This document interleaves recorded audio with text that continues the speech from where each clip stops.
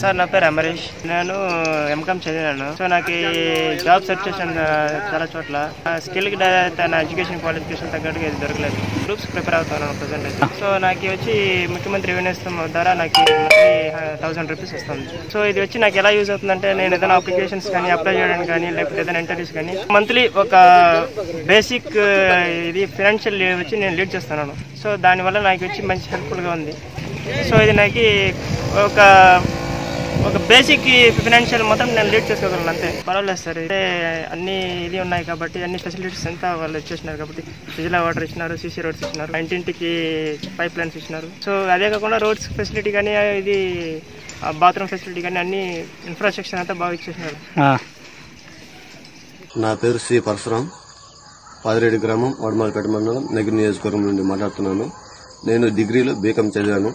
ఇంత మునుపు ఇంటర్వ్యూలకు వెళ్ళాలన్నా కొంచెం ఇబ్బంది పడేవాడిని.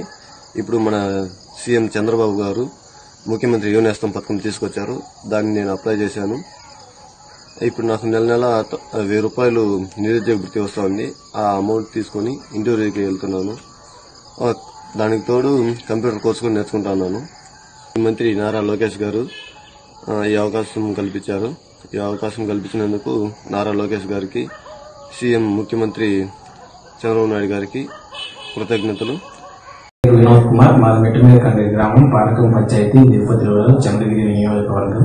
నేను రెండు వేల పదహైదులో నా బీటెక్ పూర్తి చేశాను. అప్పటి నుంచి నేను నిరుద్యోగిగా ఉన్నాను. ఇప్పుడు చంద్రబాబు నాయుడు ప్రవేశపెట్టిన ముఖ్యమంత్రి యువనేస్తం నేను అనుకున్నాను. దానికి అప్లై చేసుకున్నాను. నాకు గత రెండు నెలల్లో నాకు ప్రతి నెల వెయ్యి రూపాయలు వస్తున్నాయి.